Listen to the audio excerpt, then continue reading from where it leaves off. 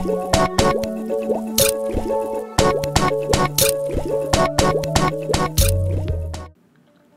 is going on, people? This is Elder Tenchi, and today I want to talk about my history with the Harry Potter franchise. Um, I have yet to talk about Harry Potter at all on my channel, so this is gonna be a first. But um, so Harry Potter was introduced to me um, through school. A teacher actually introduced it to me uh, when I was in sixth grade. From third grade up until sixth grade, I was in a Catholic school and uh, that's where I was introduced to it. I believe this happened right before we were about to enter seventh grade, um, like right before right before the summer.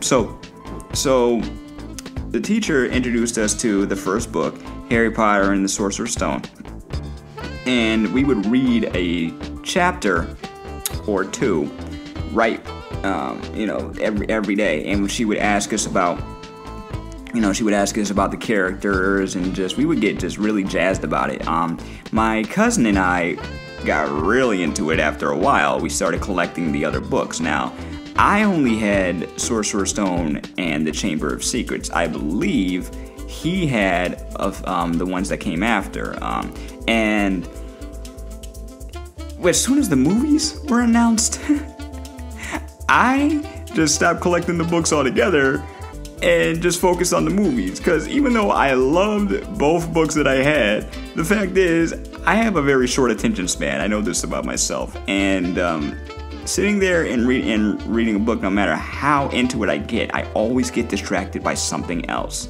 And as soon as the movies came out and I saw uh, Harry, Hermione, and Ron for the first time in live action, I was like, it's a wrap it's a wrap. I was just focusing on the movies. Every movie that came out from that point on, I had to see. My cousin and I were huge fans. My sister and I were huge fans. Even my mother was a, was a um, you know was a fan of it. Not as big as uh, as we were, but she would watch the movies with us. She would enjoy them with us, and we had a good time. Um, so so when the first when the first movie came out and you're introduced to you know to uh, Harry and introduced to his family life and everything, for the most part, as soon as much as I can remember, because I'm doing this all from memory, the books and the and the movie itself were pretty spot on. Yeah, there was some you know there was some things that they had to cut out in between, but you know everything from from um, that whole incident at the zoo to his introduction to Hagrid and all that seemed pretty spot on. Um, and then when we go to Diagon Alley and we and we're introduced to his uh, you know to his owl and him getting his wand and stuff, I just really wanted to immerse myself in this world because I'm the type of guy that Growing up, I was always taught to use my imagination. I was always taught to be creative. I was always taught that there, you know, there's more out there than just the TV and just, you know, and just the, you know, just the physical stuff. You can create whatever you want in your mind. So, with with a world like Harry Potter and the fact that I was already into a lot of other things like sci-fi and fantasy and things of that nature, it really appealed to me and millions of other kids growing up. So it wasn't that hard. But yes, I did get some, you know, I did get some ridicule for liking it, you know. And I even got some on both sides. I got some from those who did not know about Harry Potter, didn't care about it. And then I would also get the people that were, you know, the the the purists, the the ones that prefer the book over the movie. And that's cool. That's awesome because because everyone knows that when you adapt one medium to another, there are some things that are going to be taken out. There are some feelings you're not going to get if you if you go from the page to the screen or vice, you know, or or sometimes vice versa. So, you know, if you like one or the over the other, cool. I liked both. So, my cousin and I would go see, well actually no, actually, my cousin and I, we didn't get to actually go see a Harry Potter film together until the last one, if I remember correctly. My sister and I would go to just about every screening, every every movie that that came out, we had to see together. Um, and uh, it was just it became a tradition.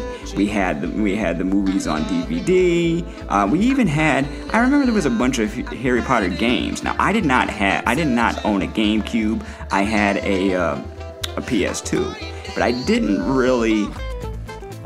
When I started, when I when I got to be a little older, I stopped getting games that were based off of movies because some of them stunk. So I did not, uh, you know, I, I did not get into the Harry Potter um, uh, video games. However, I did get into this one board game that involved um, you making a ball float through a board and jumping through hoops. For whatever reason, it seemed really cool to me, um, even though the fan on that thing was really loud. But I digress. My favorite movie has got to be uh, Prisoner of Azkaban, mostly because of Sirius Black you know the fact that he was falsely you know falsely accused and going into pri- in, in, in going into prison and he was um and he ended up being well spoilers but you know it's over 20 years old um but the the fact that he was also related to uh, to Harry, he was his godfather. So you get to hear a little bit more about him. You get to know a little bit more about Harry's family. I love the development of these characters. Um,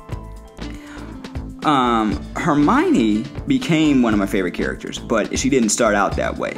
To me, she was a little bit of a know-it-all, and I, you know, and and I, I thought that her character was a you know a sweet but a bit annoying. Um, at first, but that was just the first movie. I was done. I was done thinking that way by the you know by the time that movie was over and we got to the second we got to the second one. She became my favorite character, and for a while, um, as you know, as I grew up and they were growing up in front of my eyes, I kind of developed a crush on Emma Watson. Yeah, big news flash. Um, but until this day, still kind of have a crush on Emma Watson and the stuff that she and the stuff that she's she's um, doing now for you know for uh, her career as well as uh, the world as a whole. That's awesome. Big ups to her. Like she's ever gonna hear this, but whatever. Um, um, but anyway, so so I remember going to this camp. I used to go to this really religious uh, camp every year, and a couple times one of the subjects that would be brought up is the Harry Potter franchise. Now, I did not know this until I was older, but the controversy surrounding the Harry Potter franchise was baffling. You know, you had you had parents that were against it because of its themes of magic, its themes of you know of of, of you know otherworldly you know otherworldly beasts and stuff you know and stuff like that. But it was all focused on the ma- you know on the magic. So they thought that it was just evil. Now, now here's the now here's the thing. To me, when I got into that argument with kids my own age, and they asked me, how is it not evil that he's using magic? I could answer them, but I was afraid to. I was very timid growing up, and I, I hated getting into any kind of conflict. To this day, I, I really don't like getting into conflict. So, you know, to avoid to avoid any other any other like scrutiny or any other kind of further debating, I just shut my mouth. You know, but you know, but just like technology, it's neither good nor bad. It's all about how you use it. And to me, Harry wasn't bad. How in the world can you be bad when you're taught to defend yourself against the darkness? How is it that, that he's considered bad or, or, or a bad influence when he's trying to save people and learn more about himself? You know, that's one thing I that's one thing I never got.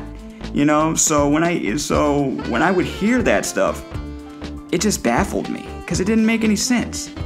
Good versus evil is not always cut and dry. I understand that, but I didn't see any any evil intent in in Harry or any of his friends. I didn't see any kind of malice or any kind of wanting to rule the world or rule over other people. I saw that on the other side, but it's just like you know, it, it, it's just like anything. Like like I said, it's it's neither good nor bad. It all depends on how you use it. But getting back to the overall point, um, so so watching every other movie and wishing I could go to some of these events that would happen. Now, when a Harry Potter event would happen, it would happen outside of my town, so I couldn't go. You know what I'm saying? I was young and I had no money, so I had no way of I had no way of going. The most that the most I would hear about really are the you know when the books would, would get released. I'm kind of glad I didn't go to those because I know that they would get a little you know a little chaotic, but still I would have loved to go for for uh, the experience at least just once. Uh, I, I would hear stories about people fighting over books. I would hear stories about people uh, stealing exclusive merchandise from the stores and, and you know and stuff like that. So part of me is kind of glad I didn't go, um, but you know part of me still wishes I could have. Um, so by the time the last movie had premiered and everything was laid down for for Harry and Voldemort to have their you know to have their battle and you know and the you know the characters had developed and grown up and all that stuff. My cousin and i went to my very first till this day my first and only midnight showing. And it's funny because um when deathly hallows came out when deathly hallows part 2 came out i had to work that day. But my cut, well, I had to work the next. had to work the next day. I had to work that Friday, and I had to work the next day at about seven in the morning. But my cousin had gotten these tickets to the to the um, midnight showing, so he asked me. He was like, "You want to go?"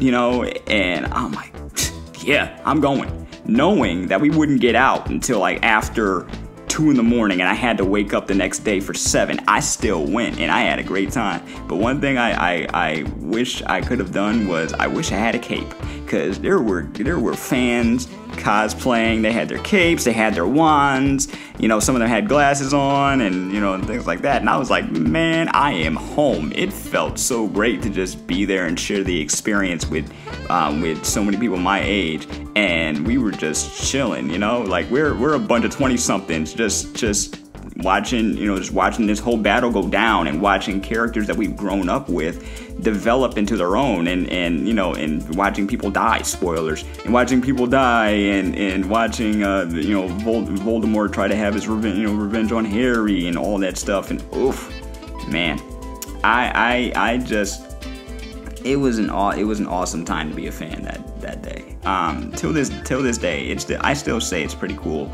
to be a Harry Potter fan and I um, hope that because it because it was just announced a couple months ago that J.K. Rowling was was coming out with more books within the franchise. So I want to see what uh, they're gonna do with that. I kind of wish I could have seen um, Fantastic Beasts and Where to Find Them. Um, when when that came out, I don't know what I was doing, but I missed but I missed my shot. I still got to get it on. Um, I still got to either buy it digitally or get it on DVD or something. But um, anyway, that's my history with the Harry Potter franchise. It's it's still to this day to me a great franchise. It's good to look back on and see what um, you know what the movies were like only a few years ago. They're not even that, you know, it's not even that old, but now, you know, a lot of a lot of the effects could, you know, could be touched up. The fact that the kids of, you know, here, you know, the the main characters in that franchise are still cool with each other and they've grown up and they've done other projects and really cool, you know, things throughout their you know throughout their careers and they're still cool people that is what's amazing to me um and not to say that every child actor is going to go you know off the rails but you know you hear stories you see reports and stuff and these kids are still humble. So i would love to meet them one day you know? Uh, i would also i would also love if i was in the the harry potter world i'd love to just talk to dumbledore. I'd love I'd love to pick his brain and see what I could you know what I could learn from him. I, would also learn I'd also love to um, to talk to Snape, may he rest in peace. Uh, you know, and and see what he, you know, what was going on through his mind during Dumbledore's, you know, plan that whole, you know, whole time. You know, the teachers in that school are great, but yo, but Hagrid, Hagrid's the man, Dobby's the man. Dobby's a G, shoot. Um, but um, but Hagrid, Hagrid would probably be my best friend. He'd, he'd, he'd be like a surrogate uncle to me, much like he was to to the kids. And the the um, you know the the the wor- the world is, is always sticking in my head. The world of Harry Potter was always sticking in my head. Even even if you didn't like it, some people had to admit they at least liked the effects. Even if they didn't like the the movies and they didn't get it at all, some people would tell me they'd still like the effects. even those who would call Harry Potter like Harry Pothead or something like that, you know, because there were a lot of haters out there, but they're always they always found something that they liked, you know. Um, but anyway, that's it for my rant. That was my personal history on the Harry Potter franchise. I mean, with the Harry Potter franchise, and I can't wait to see what they do um, with it going forward. So let me know what you guys think of that. Um, if you're a Harry Potter fan, what was your favorite um, moment in here? You know, in, in any movie and/or book of uh, Harry Potter. Um, and what and, and what else would you like to see in the future? And uh, are you uh, are you excited about the new you know about the new movies coming out? Are you excited about the plays? Let me know in the comments below, and I will check you on the next broadcast. Thanks for listening. Peace, love, and never be normal.